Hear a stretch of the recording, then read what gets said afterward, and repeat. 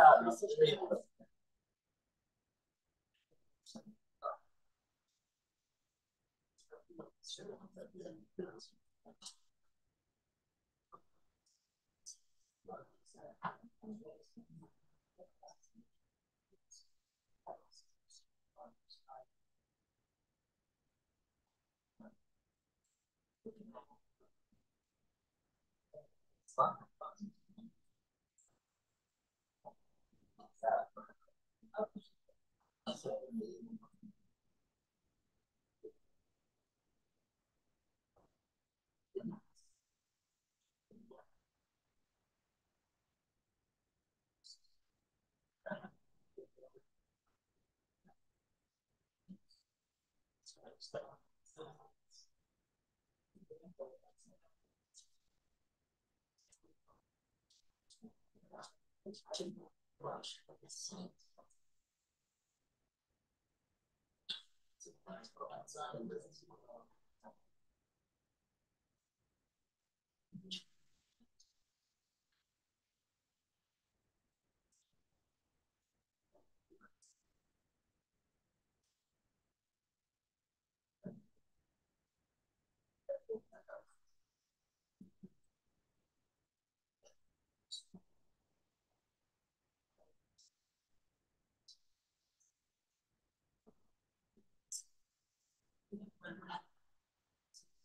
Um,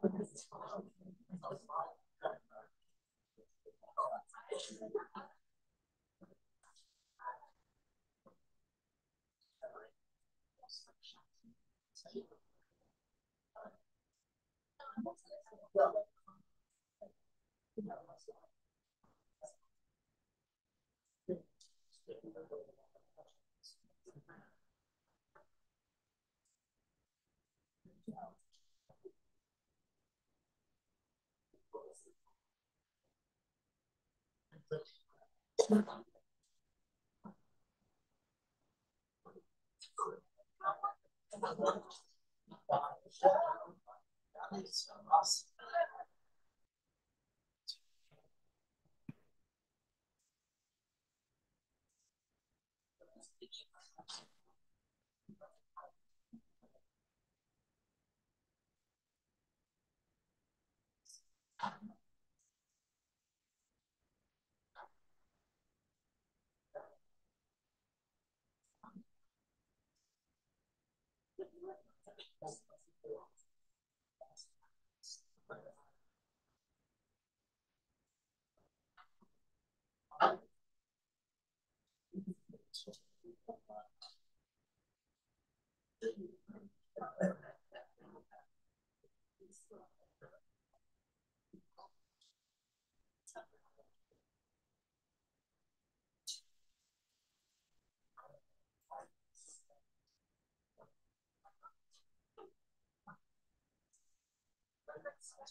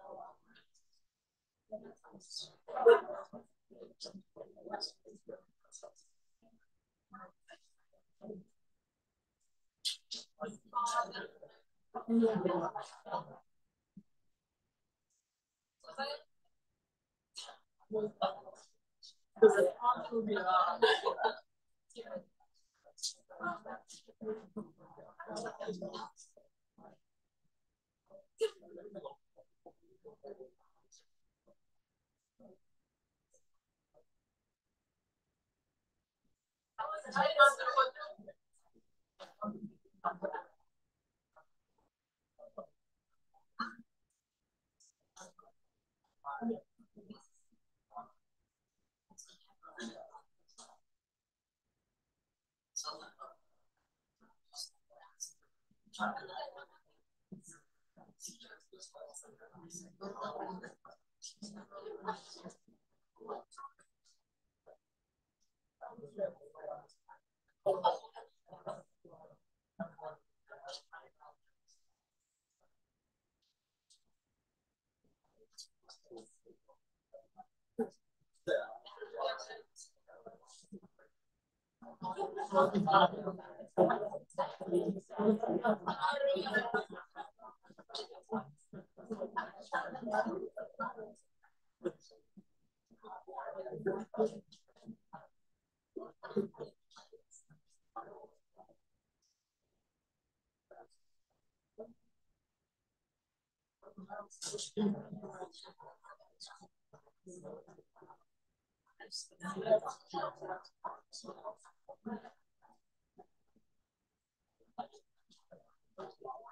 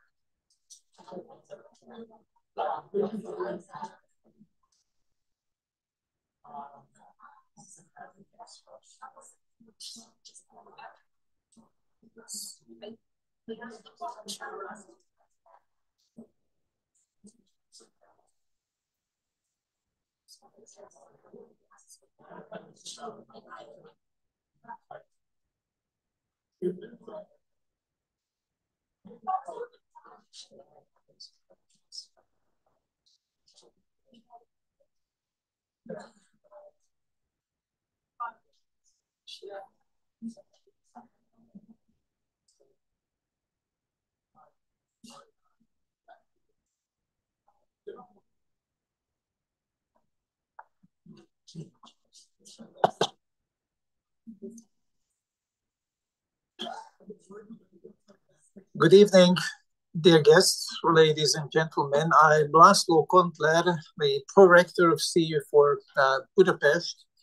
I'm here, to, first of all, to extend a warm welcome on behalf of uh, Professor Shalini Randeria, our Rector and President, uh, who is the sponsor and host of this series. And unfortunately, she's fallen ill, so she cannot be uh, with us today. Uh, this means that uh, the honor of introducing our speaker uh, falls on me, and I'm doing that gladly. And I usually don't read out an introduction before lectures, but uh, since this is so rich that for the sake of precision, I have chosen to mostly read.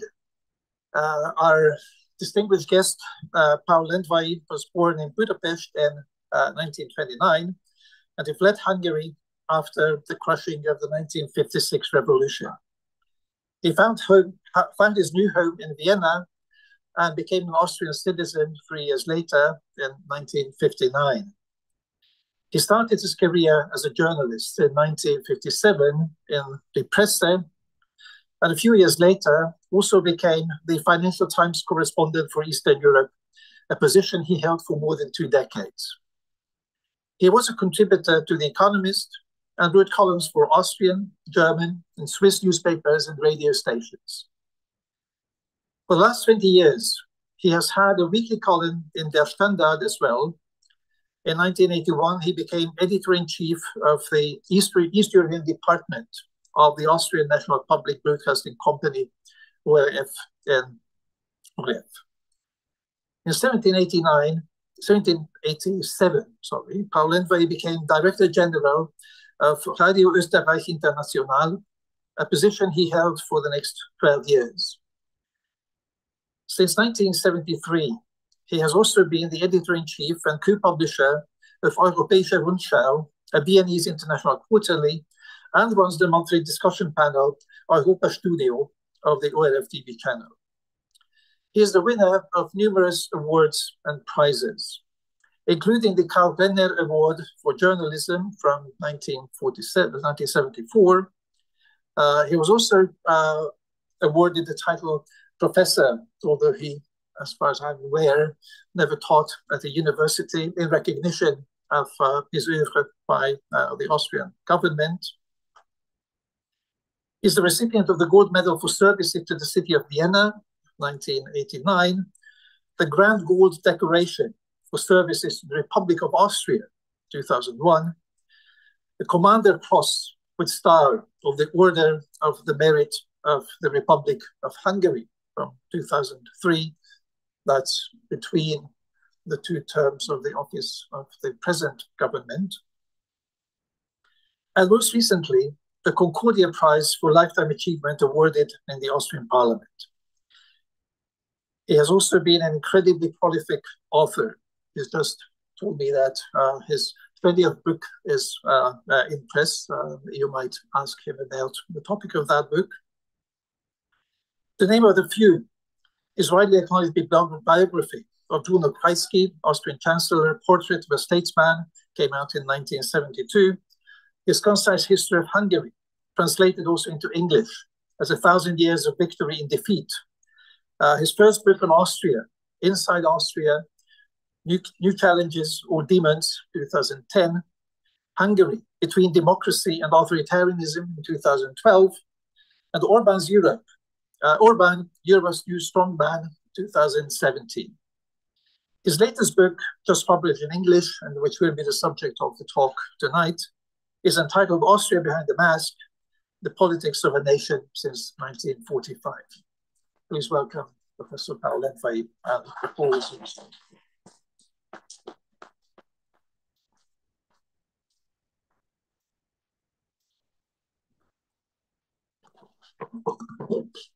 Thank you very much.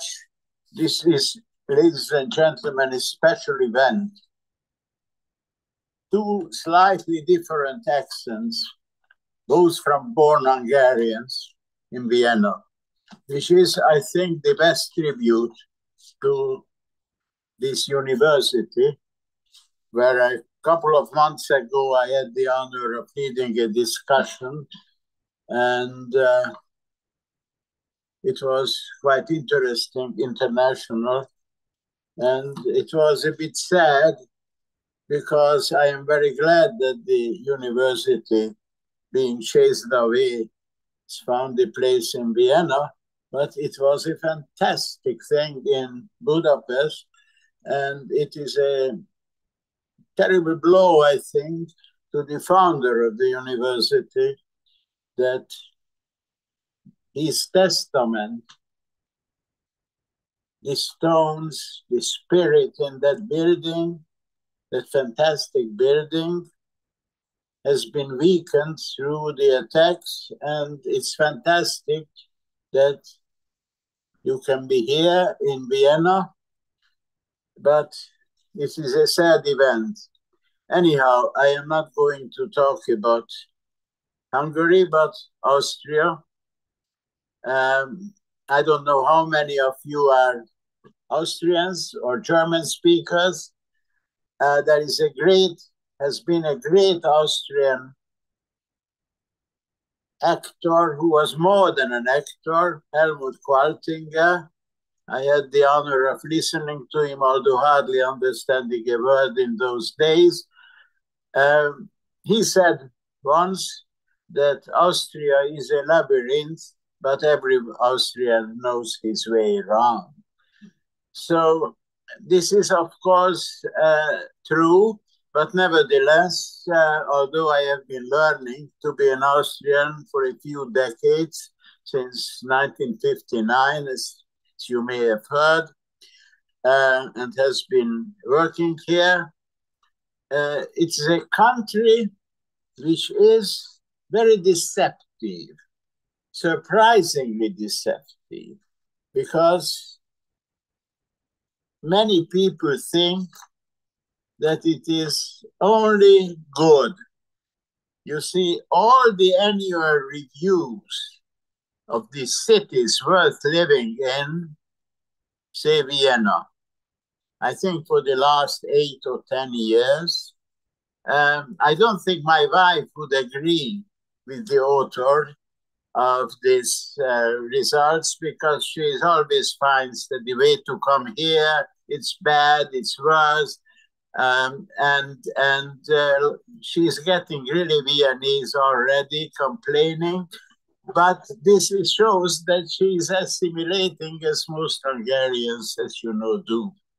So uh, the positive sign is, of course, that this is a country which survived incredible upheavals. If you think of it, if you are going around, we were walking yesterday, uh, we were looking in the Volksgarten where there are roses, you can pay. I just heard from our friend whose husband was a famous actor, and there is one little rose, tree of roses there, that it costs only 300, no, uh, 300 for two years or three years, 300 euros. If you have more money, you can now even rent a tree. So, and we were walking there, and then we really felt that this was the capital of a country with 52 million, 52 million people. So it's unbelievable that uh, what's remained of this empire and what this country has gone through since the breakup of the Austro-Hungarian monarchy.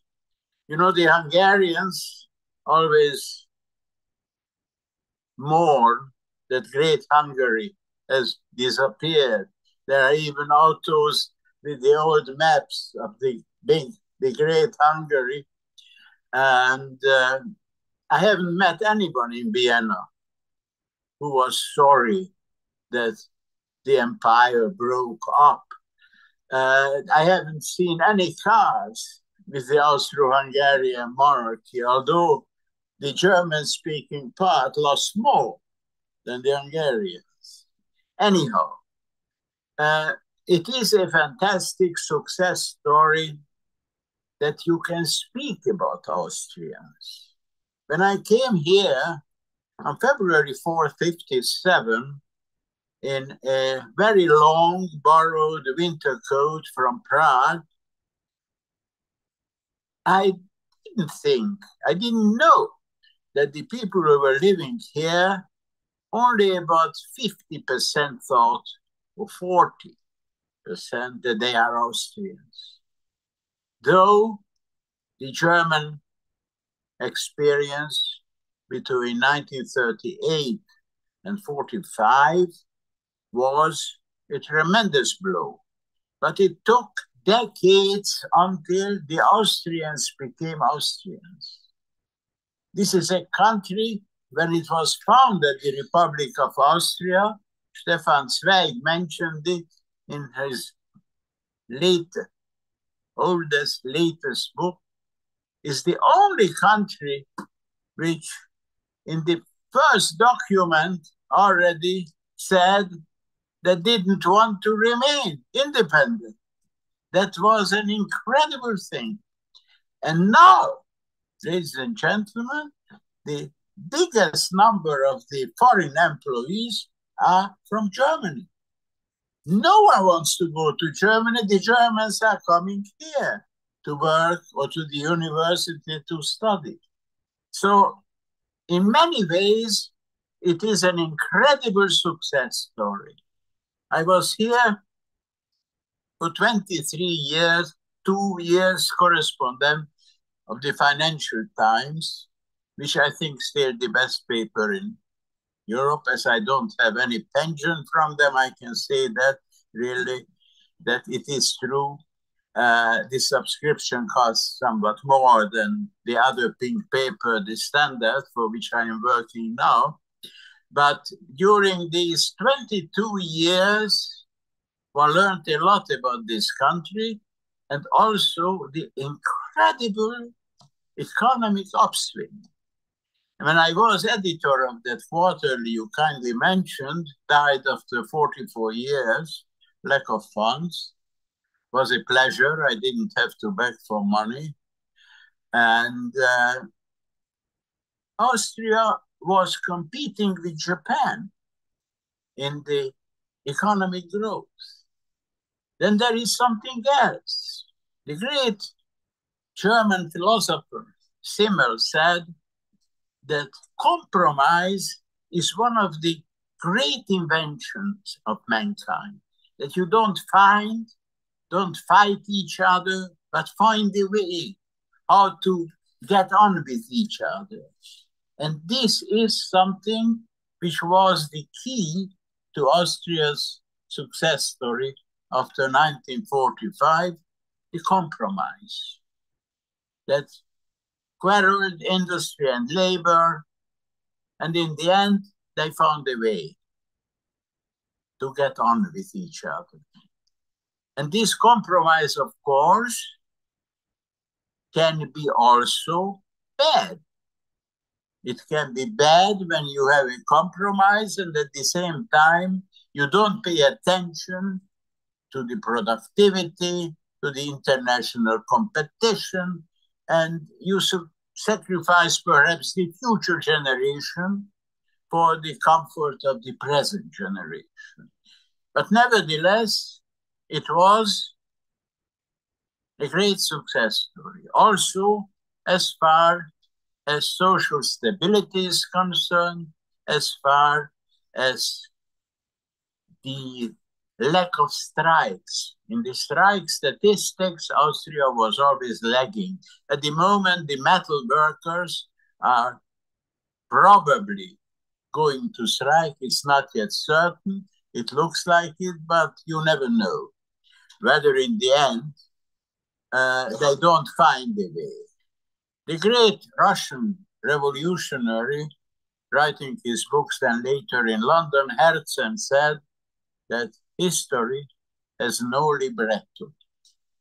And this is particularly true of Austria. The personalities played in the formation and in the entire history of the Second Republic, we say second because the first was between 1920 and 38, played a very great role. And I can't go and I, into the details because then I lose uh, the audience if I mention too many names. But it's a country of surprises as far also the personalities are concerned. If you want to know something about Austria and you Google Austria and the history, you find always the names of Hitler, Waldheim, Haider, but you don't always find the names of Karl Renner, Bruno Kreisky, and others. It is a country which received Adolf Hitler, 200,000 people on the Heldenplatz. And when I mentioned that to the former Chancellor Bruno Kreisky, he said, Yes, but you don't speak about the people who weren't there, who were weeping or who were worrying about their friends, the Democrats, the monarchists, the enemies of the authoritarian regimes or dictatorships. And in this country, where 200,000 people were jubilant about Hitler, in 1970, a then 60 year old Viennese Jew who spent 12 years in Sweden in emigration, became the Chancellor of Austria. It was an incredible event and it meant something. I knew Bruno Kreisky. I had the great luck of meeting him and had the honor of writing the first biography, biographical essay with a colleague who was then the editor-in-chief of the Salzburger Nachrichten, a very respectable Bundesländer provincial daily. And it was actually unbelievable that this man who didn't look very great, wouldn't have had a film, a role, a starring role in a Hollywood film. It's this man won five elections, three with absolute majority. I think the most successful politician in Europe. When he lost the last election, the Social Democratic Party had 27.8%. They would be, yeah, sorry, 47.8% of the popular vote. And three times he won the absolute majority. But then I must say, I have been always not very objective because I wrote his biography, I admired him. He was also responsible for the fact that Austria became the home of a very strong right wing populist party, which are regarded by many as the, a threat to the freedom, but calls itself Freedom Party, Freedomites, because it was he who managed to get a single party government for the first time since 1945 because this Freedom Party had on those days only, I seem to remember, six or eight MPs, and he made an agreement with them that they will abstain from voting against the government so that the Social Democratic Party could form a minority government. And I write in this book about the political parties, the personalities, the histories. And on top of it, the head of this Freedomite party was a former Waffen SS officer who spent two years fighting Russians and allegedly killing Jews and communists and so on. And I knew that man too. In those days in Austria, you didn't want to know who what did during the war in Germany or in Austria. And uh, it happened that I met this man several times and I believed in it that the leader of the Freedomites, those days called Friedrich Peter, became a Democrat. I was at an, an official trip to Prague when nobody talked to him, and he told me I was leading away this party from the Nazis. He later left the party after the ablest man in those days, Jörg Haider, was a kind of flirting with the memories of the Third Reich. A very good looking man, a very complex personality. But anyhow, so Kreisky was an absolutely fantastic success story for Austria. Many people would say, who are over 60, that this was the golden age. Austria was on the map of the world.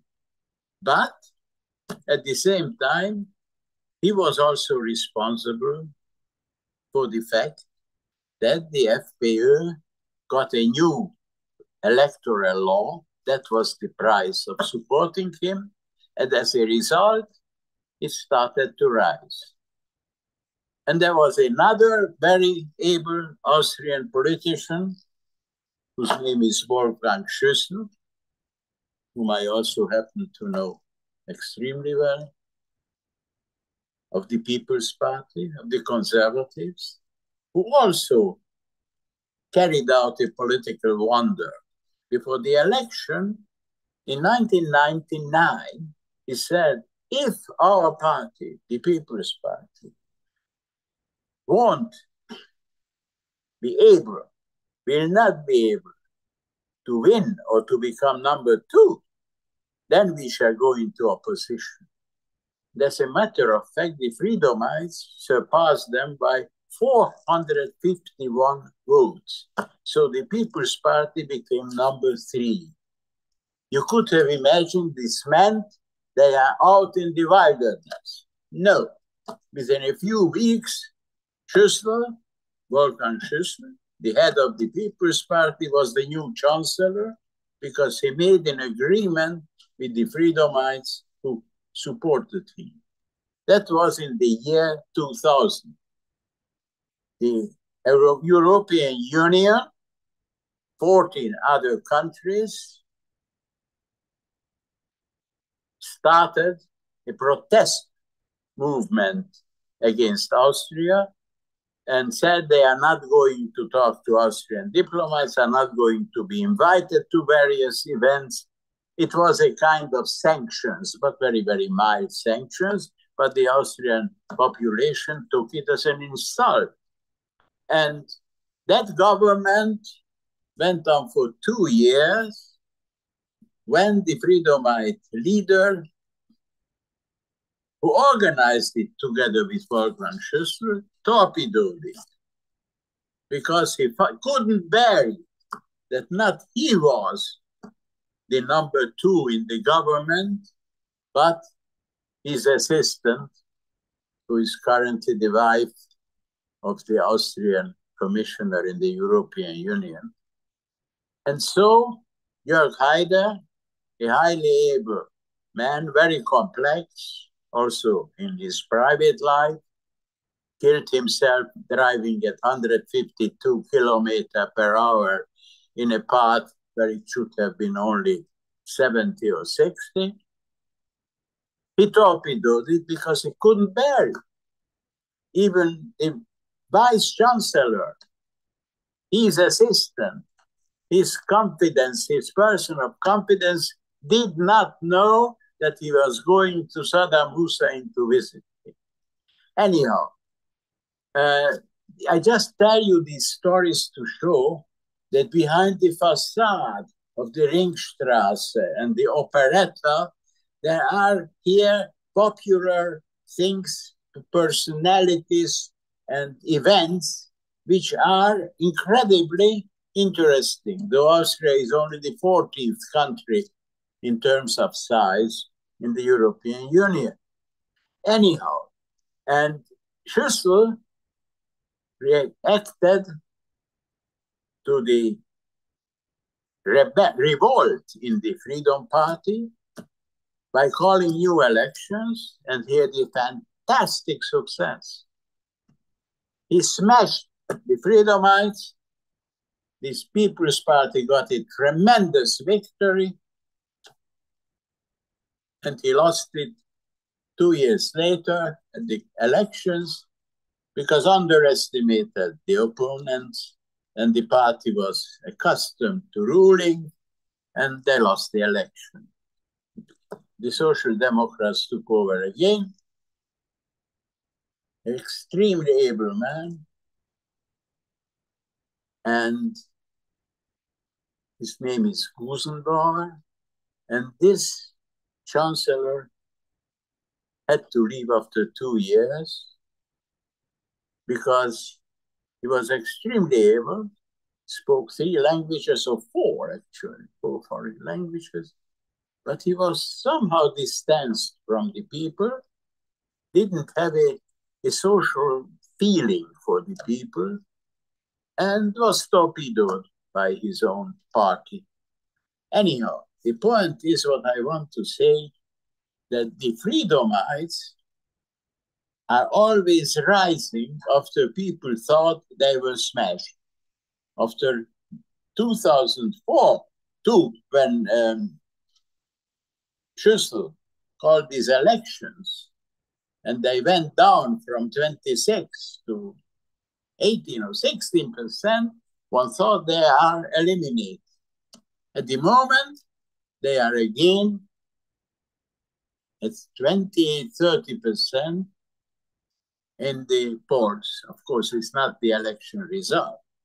In this book, which uh, Austria Behind the Mask, I spoke for the, while I was writing it and before writing it with 55 people, including the present head of the Freedomites, uh, Herbert Kickl, who was surprised that I wanted to talk to him I was surprised that he received me. So we had a very pleasant three hours conversation.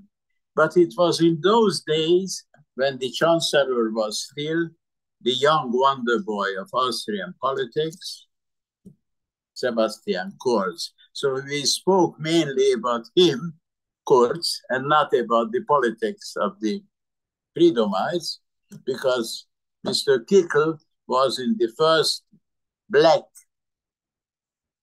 they called it turquoise, blue colored, rather with blue, black, not no longer black. And the Freedomites in this coalition, he was the Minister of Interior. Anyhow, uh, the Freedomites, and this is the reason why Austria today has not very good publicity in the British, French, American press because of the growing danger that for the first time in a democratic country, the far right would take over the premiership, the chancellor.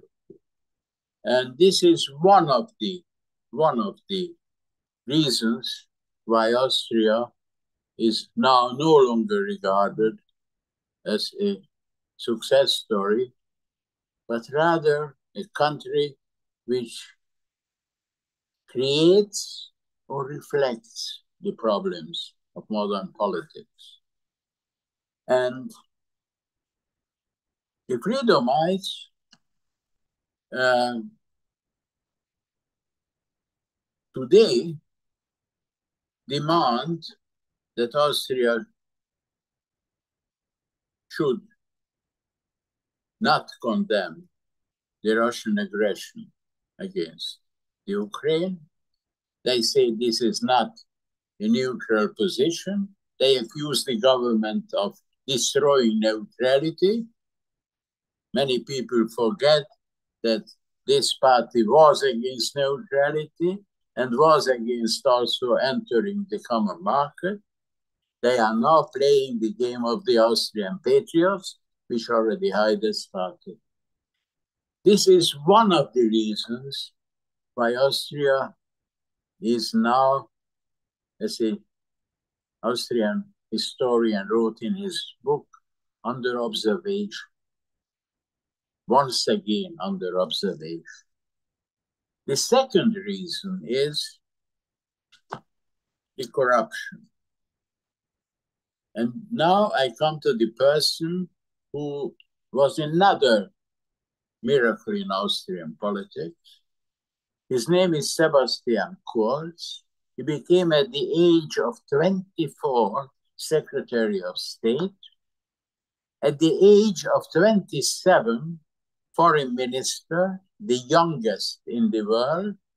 And at the age of 31, Prime Minister chancellor, the youngest in the world. And now he's on trial for false statements. He denies everything. And there is another trial probably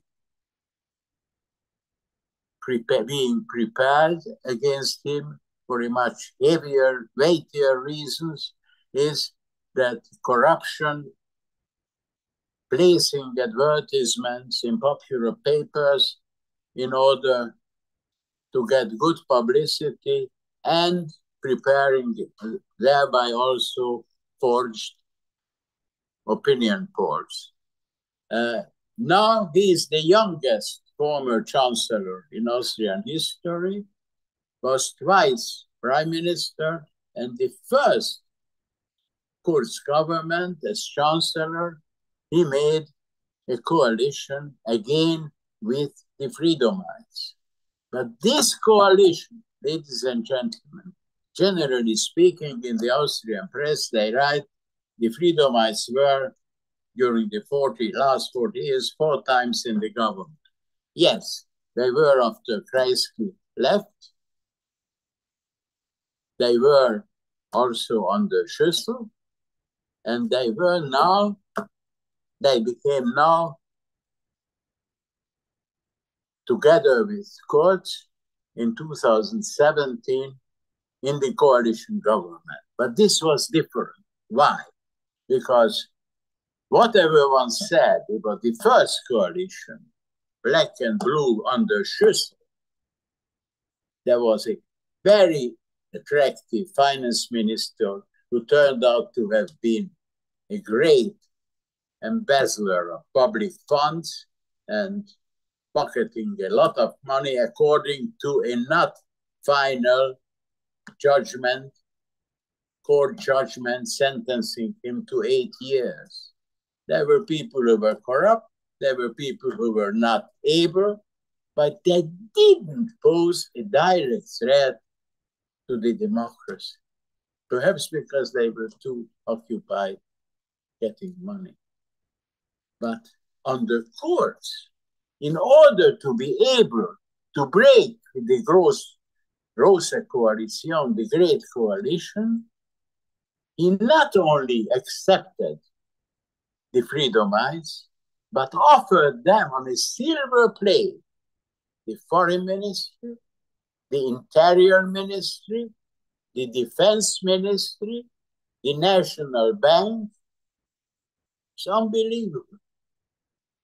The result was the Ministry of Interior, they destroyed the intelligence service so much that other Western agents in the services for some time didn't want to cooperate with us. The coalition to collapsed after almost two years, but not because of a popular demonstrations, because of the strength of the civil society. Not, therefore. It collapsed because there was a secret recording on a island of conversations between the leaders of the Freedomite Party, the head of the party, and the head of the parliamentary faction, with someone whom they thought was the niece of a Russian oligarch, and they were freely talking about this, taking over a newspaper, or how much does it cost, etc. This was became this happened in 2017, but became known in 2019, and this finished the government. And after a pause, Sebastian Kurz, the Wonder Boy, won the second elections, raising the People's Party's vote, popular vote, from 31 to 37 percent, not reaching, achieving that what Schüssel did, 42 percent, but almost. And then he set up a green, a green black, a black green coalition with the Green Party, which previous four years wasn't in politics, whose former head is now the federal president.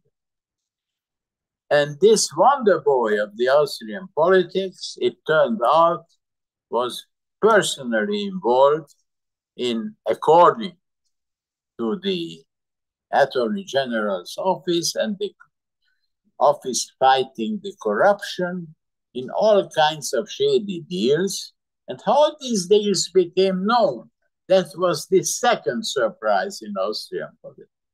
The first was one, the secret recording and of this recording and pictures, photos, live. Incredible things about these conversations between the oligarchs' needs and the Freedomite leadership, that was the one political bomb. The second political bomb was that all the major corruption things or um, in, influencing the political situation through polls, which were not genuine polls, but were made out to be genuine polls by a pollster who got money for it. And this became known because the key person, the Secretary General of the Finance Ministry, loved to talk to people, chats, destroyed. He thought he destroyed everything, but forgot that there was another machine in his flat when there was a research by the police, and they found, in addition to compromising sexual photos, allegedly 2,500, 400 pages long of incredible chats with the chancellor when he was foreign minister.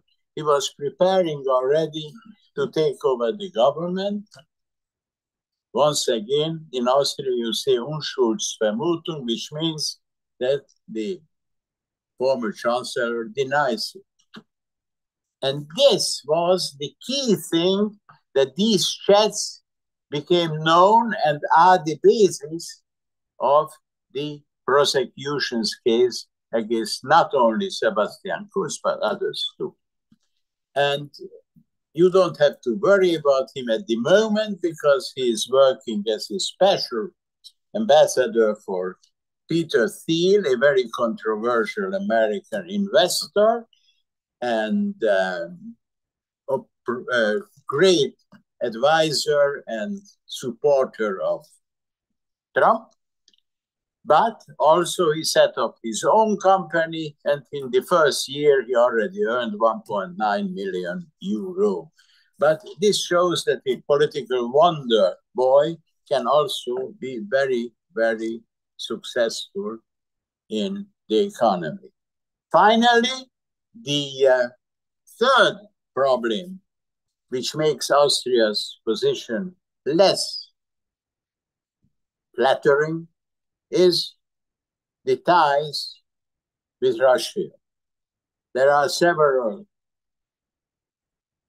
figures who played a great role in forging a too close relationship with Russia. There is a very successful um,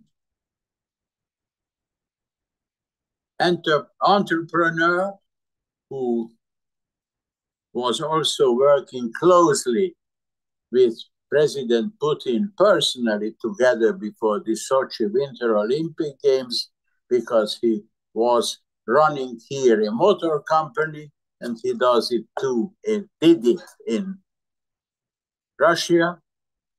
He was a man, or he is a man, his name is Siegfried Wolf, who is who sent messages to the Austrian Chancellor while he was visiting Washington that he should talk to the US Secretary of Treasury and the Foreign Ministry that one Russian company should be taken off the list of the sanctions because he was working for this company and said to him, Sebastian, you should talk and arrange that.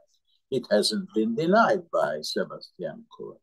So this man also said that, yes, one criticizes Russia, but this is a country which really works.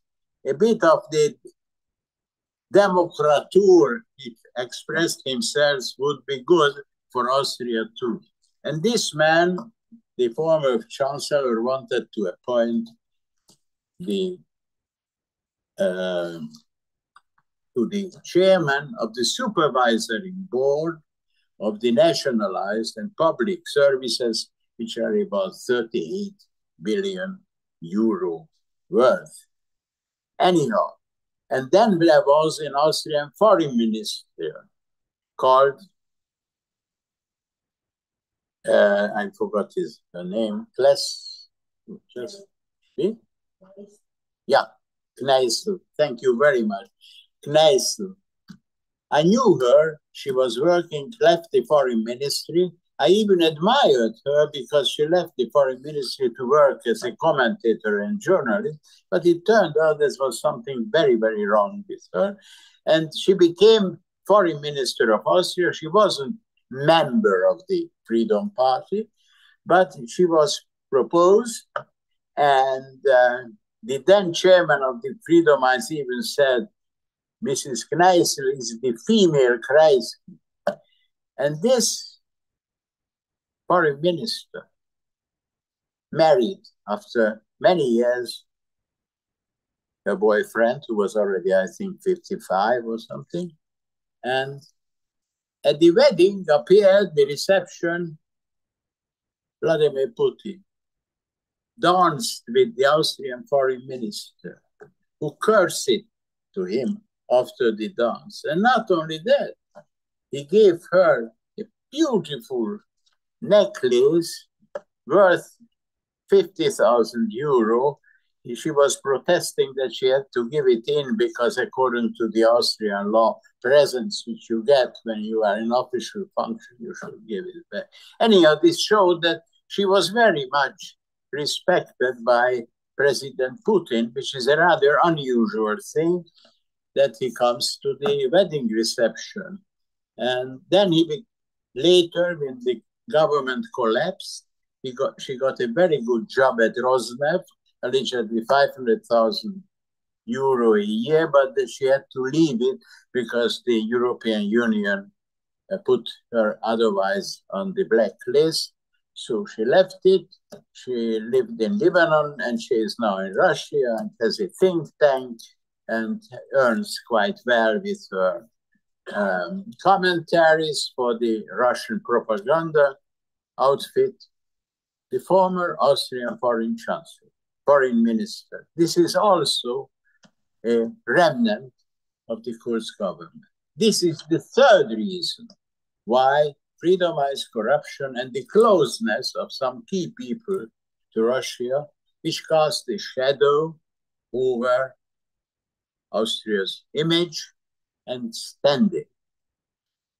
And of course, also the Kurz government and he himself has very good relations with Hungary, with Mr. Orban.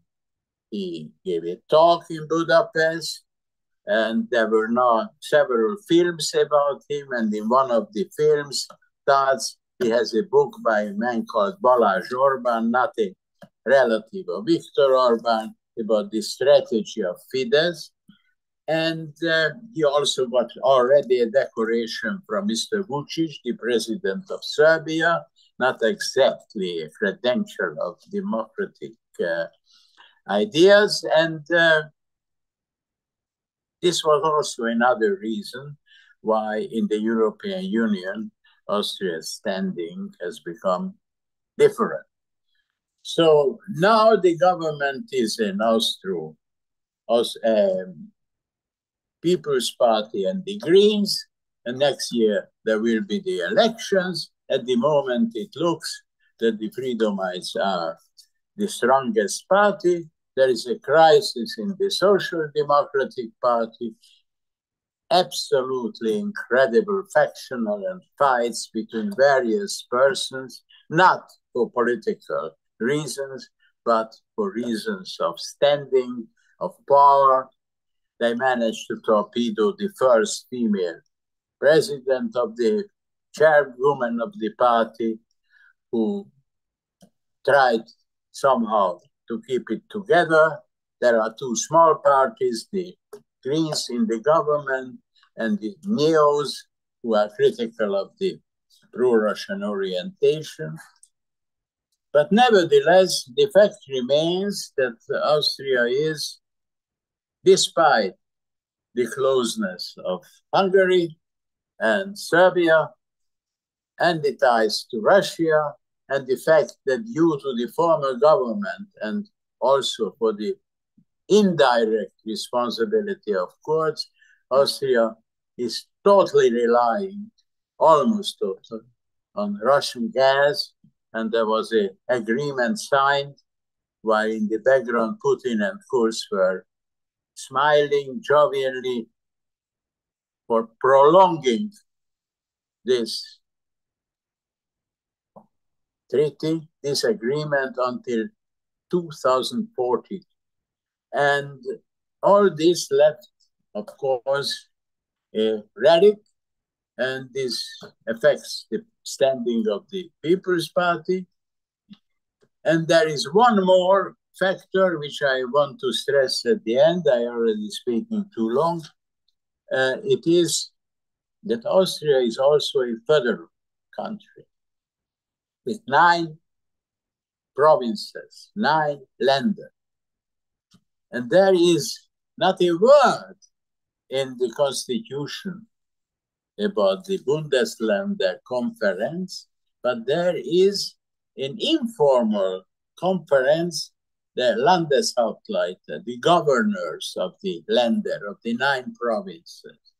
And the point is, ladies and gentlemen, that the federal, I just want to read that part, I prepared it. The federal government means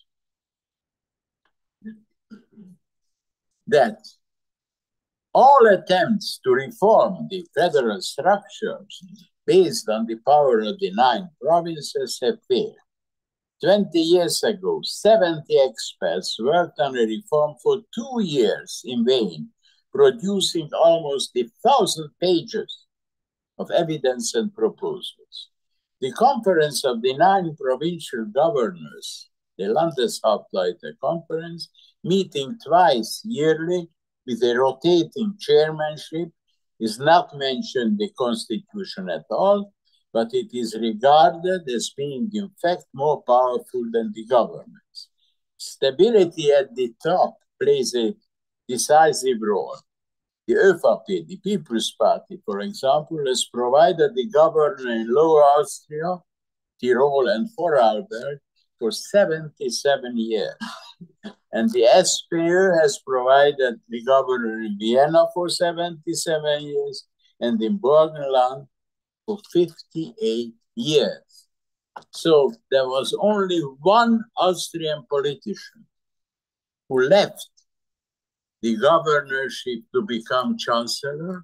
That was Josef Klaus in 1960, 62. He became first finance minister, then chancellor, who was a great reformer, a decent person. He left the governorship of the province of Salzburg, but no one else. Because to be a governor is much safer than to sit in Vienna and be somehow at the mercy of the various groups in the parties and in the provinces.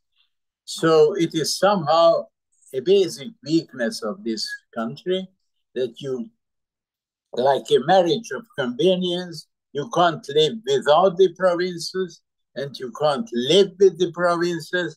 There is no way. Now, at the moment, there are the talks about the health system. How much money should they get?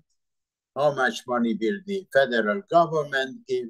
So it's a give and take, but this is part of the Austrian system. So I would say that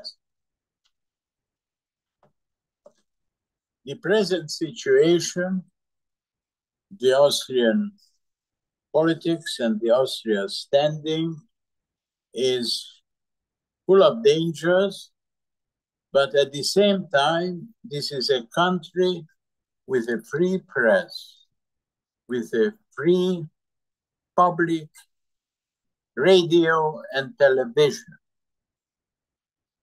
with a very strong civil society and an intact system of justice, where even former ministers are sentenced. And this is something which is, of course, also a guarantee that you can't overnight change the political system. It would be a grave danger if the Freedomites really got to become the strongest party. But in Austria, the federal president has also a role to play. And let me tell you, finally, a few words about the person of the federal president. The federal president is an accident of history. The federal president, I wrote it, a famous Austrian actor said once, if one kills him because he's producer, actor, everything, Otto Schenk, he said, if he would be killed because his father was Jewish, his mother Italian, one wouldn't find a drop of German blood. Nor would one find in the federal president's body.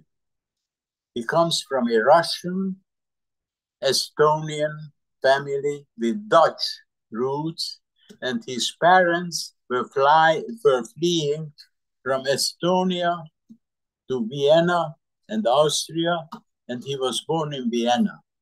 Had he been born in Budapest or by the Lake Balaton, he couldn't have become federal president of us. He came here, grew up in Tyrol. He speaks excellent Tyrolean and became an economist, university professor, chairman of the Green Party, and was now elected for the second time. So this he has the power to some extent to block a takeover by the Freedomites and to push the other parties to form a coalition. So we shouldn't forget that there are not only 30% Freedomites supporters, but also 70% who are not for the freedom. So another very important item, which is perhaps not known abroad so well, that at the time of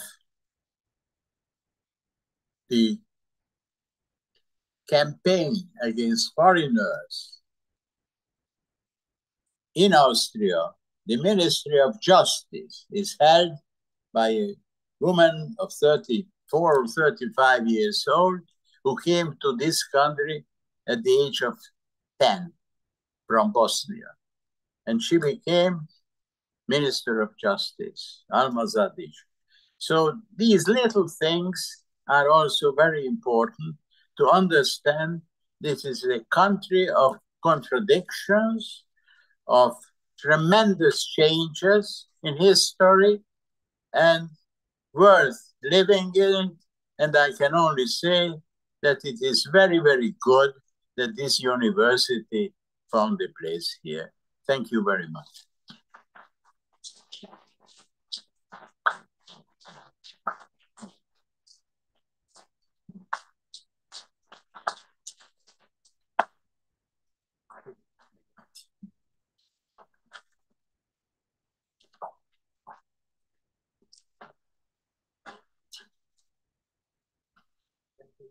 For this fascinating talk and uh, highly instructive introduction of this university to still a newcomer to this environment, to the political environment in which we uh, continue to exist.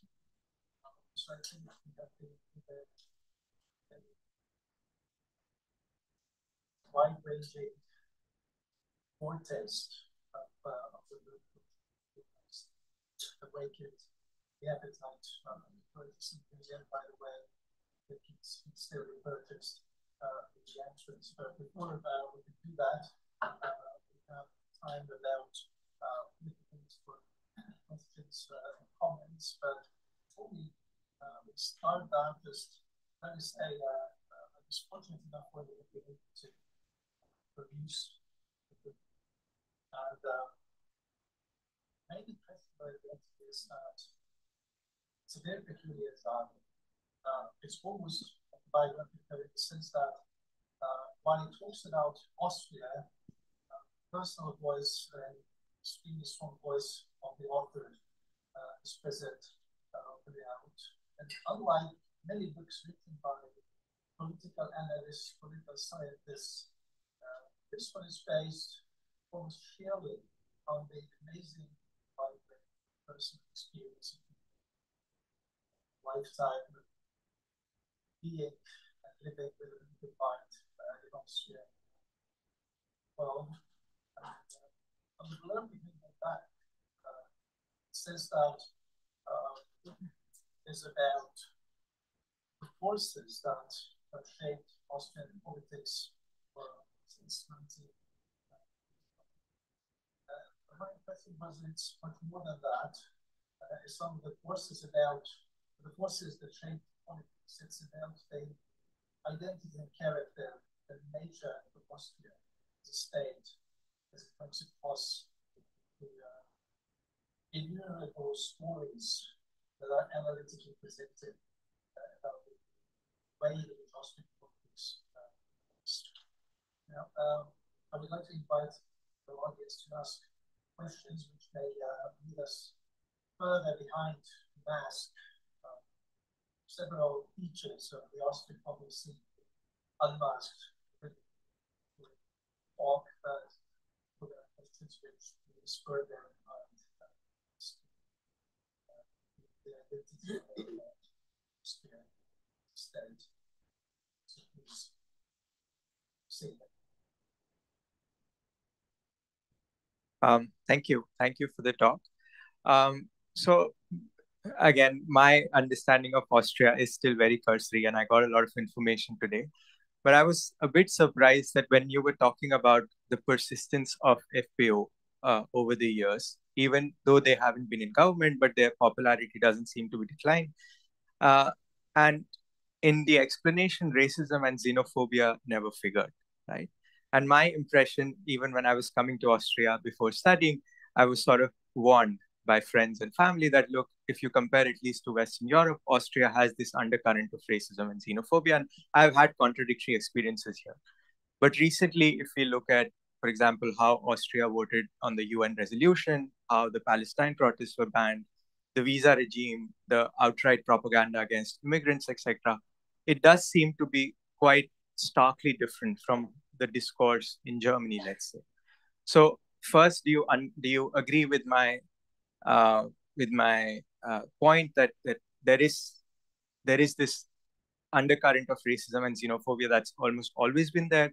And second, do you think this is sort of something fundamental to the national narrative of the country?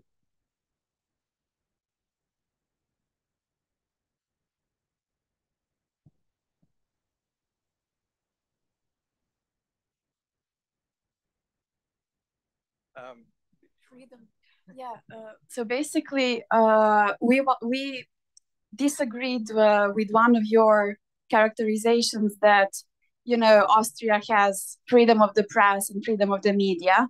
Maybe so far that was the case, but in the past month we didn't feel like that. Like it was hardest in in Austria, apart from Germany, in Europe, to satisfy and you know to not have our rights for free assembly of speech and media violated um, most uh, mostly concerning the, the conflict in Palestine and Israel.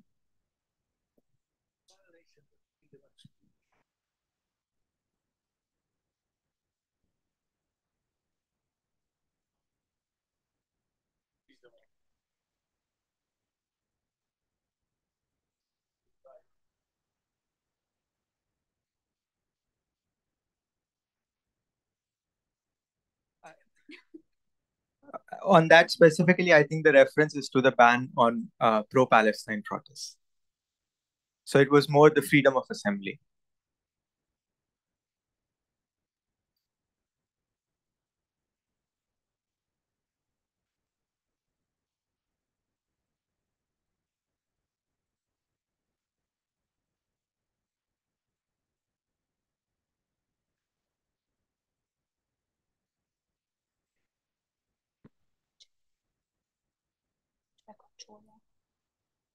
Sorry, there have been demonstrations, so I I I saw myself in heart of Vienna. So I think that they are allowed. It is only they are not allowed to carry uh, posters which are against uh, the Austrian law. But I don't think that uh, any kind of uh, demonstration is banned. It is generally speaking, the demonstrations always not very much liked by the Viennese because it means almost every Saturday when there is a demonstration, not about Palestine, but about every single issue, it, you you have an even greater traffic jam as you usually have. But uh, I don't think so that there is a, a limit to the expression of, of freedom. I don't think that that happens.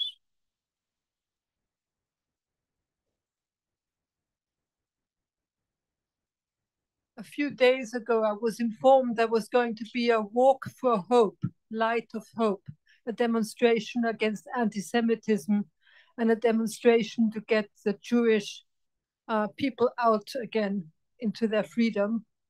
And it was very scarcely reported upon.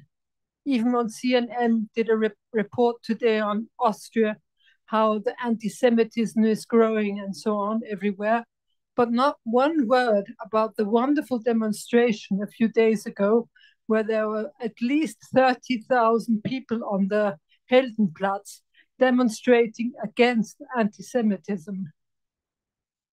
That's, so, that's certainly true that it was a very, I wasn't there, but I, I, I saw it was certainly a very, very impressive uh, demonstration and uh, What's also important, perhaps, that the government representatives were there.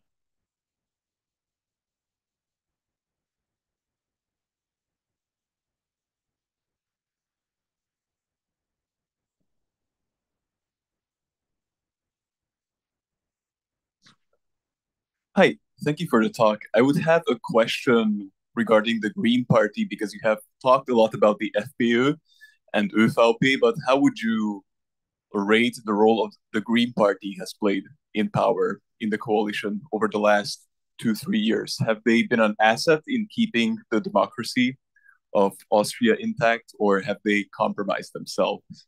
So, if you have any thoughts on the Greens, how they have fared. Thank you. The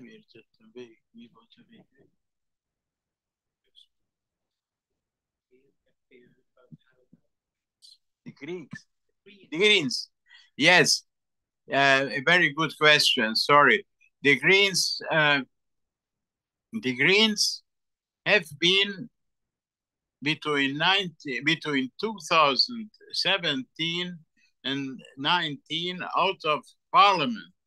They didn't manage to uh, pass the bench which is uh, necessary in order to get into parliament and it is the present vice chancellor who then, uh, I would say, single handedly, uh, Kogler uh, worked and managed uh, to bring them back with 40% of the votes.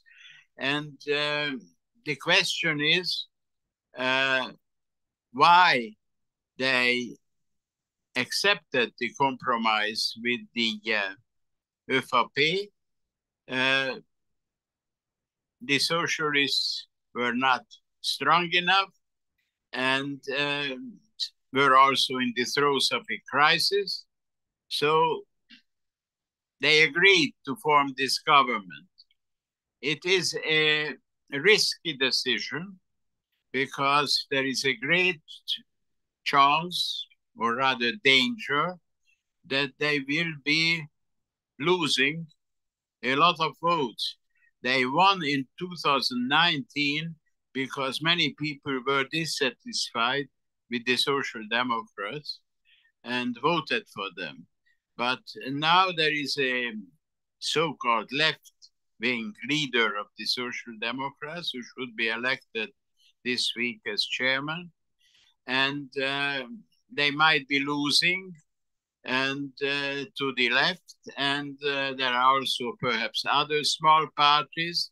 So it's a danger that the dissatisfaction with the People's Party majority will also affect the Greens. So I think it's a toss up. It's very, very open whether the Greens I hope, because it's important that they survive, but I am not sure that they will be able to get 14%. According to the polls now, they are between 8 or 9% behind the um, neos. Uh, so it is, it is uh, the Greens played a very important role with the making the climate issue, the fight against uh, corruption uh, into a major political issue. And they were somehow a bit like social democrats without the heritage of corruption and being in power for so many years. So they were representing something new, something different, and uh, they have some able people. Uh, every second MP is a woman, in contrast to the big parties. But it is very much a question whether they will be able to reach their present strength. And then is the question whether there will be a three party coalition uh, with the Social Democrats or perhaps with the ÖVP, which is rather unlikely at the moment.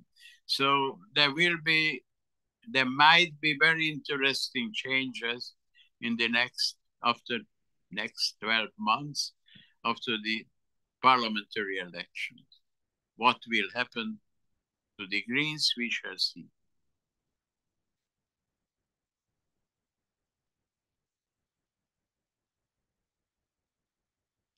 Thank you very much. Um, yeah, um, hello, Mr. Lendvai. Thank you very much for coming to, to see you. I think I'm probably one of the few Austrians here at CEU, at least that I am aware of. Um, and so since I grew up, I know Mr. Lendvai from appearing on Austrian television. So thank you very much for being a guest at our university. Um, I have one question. So at one point during your discussion, you mentioned that Austria is one of the first Western European countries um, that kind of uh, is in danger of falling to a very far right party like the FPÖ. However, isn't that already the case in Italy? Don't we see a similar uh, situation in France where Marine Le Pen, for example, might be the next president? Isn't what happened in the US with Trump something that could also fit into the same kind of patterns. For me personally, even what happened with Brexit um, fits into that pattern of, uh, I mean, the Tories might not be a far right party, but in my opinion, they have shifted much further to the right over the last couple of years. So that all kind of fits into a yeah, Western European, but also American pattern, and Austria might be on the forefront of that. But does it really stand out as much as you might, as you have made it uh, sound during your presentation? That would be my question to you. And if I may say something, maybe to the, I think it was our were some of our students over there who were complaining that their uh, freedoms are limited. In Austria, you're not allowed to run around with a swastika, for example, if you are a far right Nazi, and rightly so. And similarly, you're not allowed to run around with a Hamas flag. And if you don't agree with that, that's fine. But I strongly um, disagree with you in that case. Um, sorry, maybe I misunderstood you, but if it was about running around with Hamas flags, then um, yeah, I don't think that your freedoms are limited. But yeah, sorry, that was my question. I just wanted to say something to our students there. Thank you very much. I think that uh, uh, perhaps I exaggerated. Uh, certainly, there are also problems in uh, other countries, Finland, for instance, which no one expected that, or also in Sweden. But um, but it is in the European Union, it would be the first time.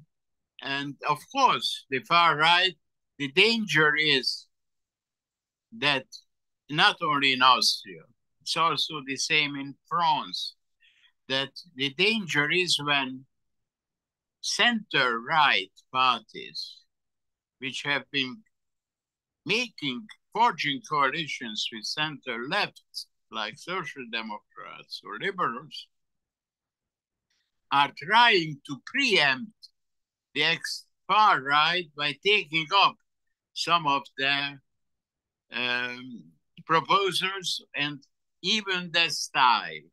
And this is also in Austria, of course, a danger with regarding to the refugees, uh, with regard uh, to the migrants issue, uh, with regard to the help for the people.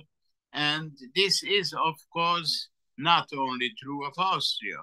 And of course, the real danger when we are talking about Europe is the war against the Ukraine. And the real danger is that in the United States, uh, the system doesn't work. And uh, the fact that the Republicans have uh, been willing in uh, the US Congress that a small group of extreme right wing and uh, bigot and, and stupid uh, politicians managed to block major issues. This is now when $14 billion for the Ukraine are held up, uh, uh, 60 billion dollars for the Ukraine are held up, and uh, they are against it. So it is a very very serious danger, and uh, I think that uh, Austria is just a small example because you have the danger in Germany where the uh, Alliance for Germany, AfD, is winning, uh, becoming number one in three East German provinces. And, and there are dangers too in, in France. And in Italy, you have uh, a far right party and the coalition.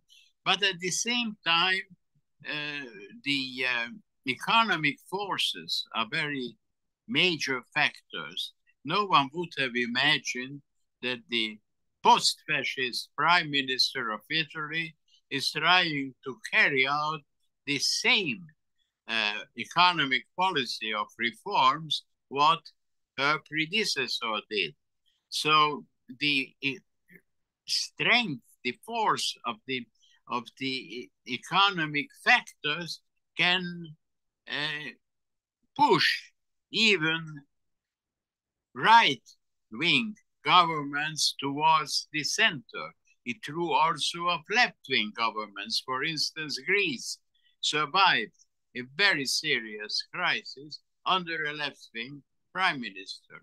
As a result, he lost the elections, as it often happens when you are doing the right things, like Schröder did it in Germany. So it's a complex situation, and uh, and uh, I think uh, I came here when Austria was a lightning example of liberalism, freedom for many, many people in Eastern Europe. And I very much hope that this country will remain the same example, despite the fact that the far right is so strong. They were also strong in 1919 they were also wrong, strong in 2017.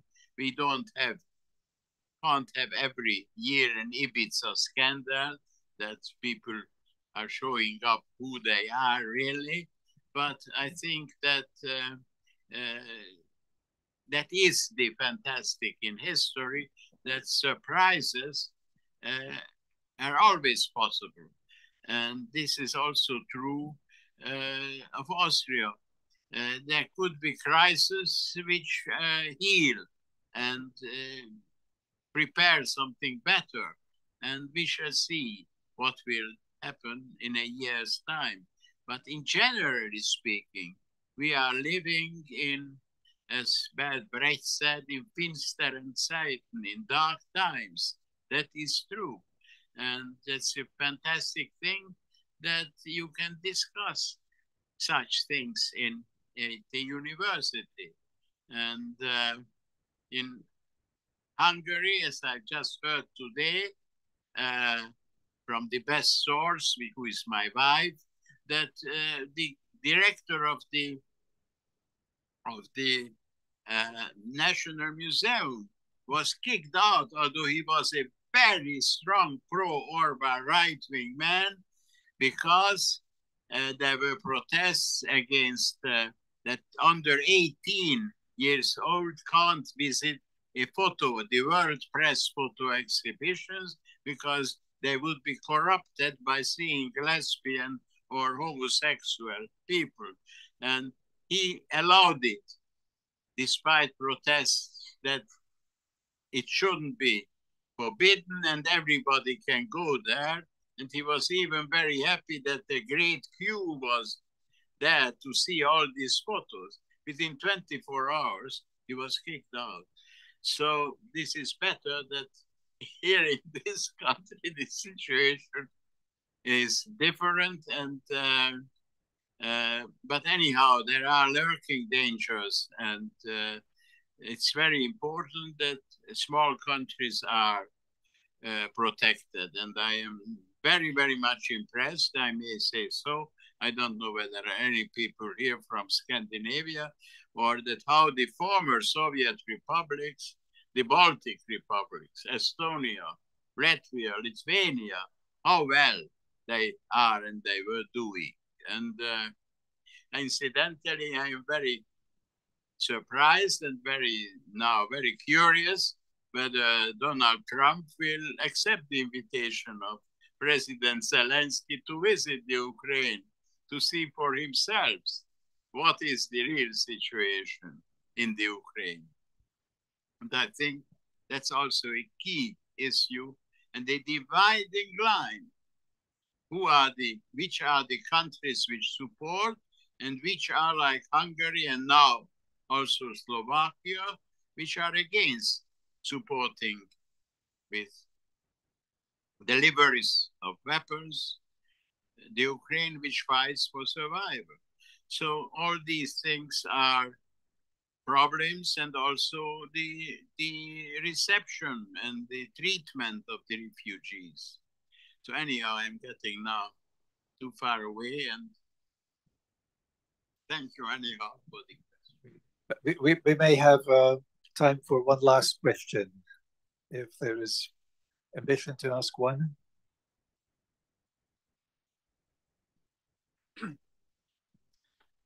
Hi, thanks very much for the uh, talk. I'd like to hear you comment on the cultural significance of neutrality.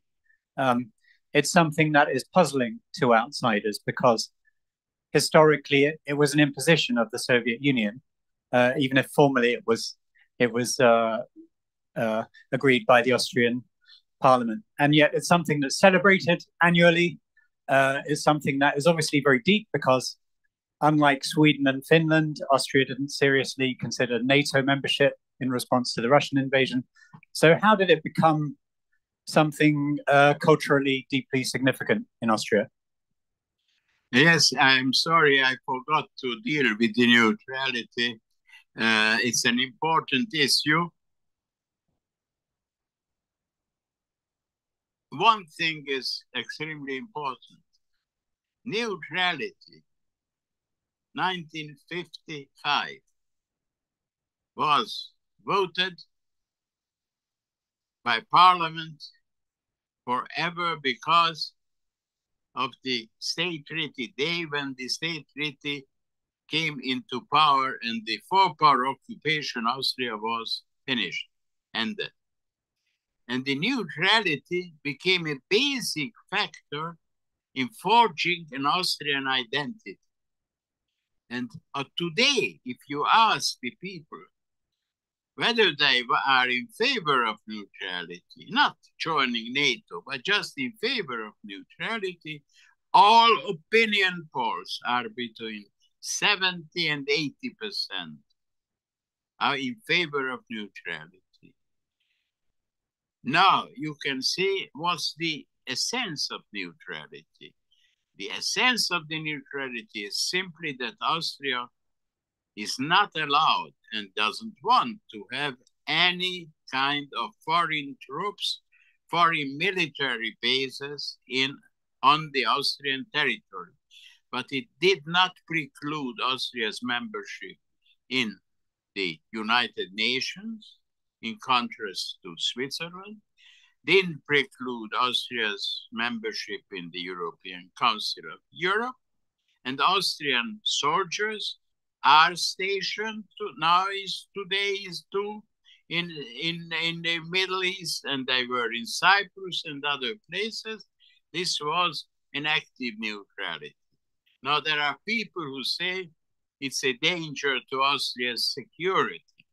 I can tell you, I regard it a greater danger that we have a minister of defense, a lady who is a very good agricultural expert, allegedly, but had never anything to do with the administration of a ministry, let alone of the Ministry of Defense. I regard that, I even wrote it a bit more uh, cautiously, uh, a, a, serious danger because Austria should have the armed forces. But I recall also a visitor from Oxford many years ago when I was working for the Financial Times, when I told him Austria spends more on the theaters than on the army, he said he would like to live in a country like this. So in a, it is a very selfish position. You are in Windstille. You leave it to the others to fight for you. But also, who will attack Austria? All our neighbors, except Switzerland, are in in alliance. They almost all of them. And so I think personally that there are more important issues for Austria than whether they, Austria gives up neutrality. I don't think there is any possibility of having a majority for Austria joining a military alliance, I mean the NATO, in the foreseeable future. So I don't think, I think the issue is not really a burning issue because it doesn't really matter for the European defense whether Austria is a member or not. And for Austria, it's much more important that inside the country, the Russian influence should be curtailed. The so-called Putin friends shouldn't be in positions of power in the government or in the administration. Much more important whether you say you are no longer neutral.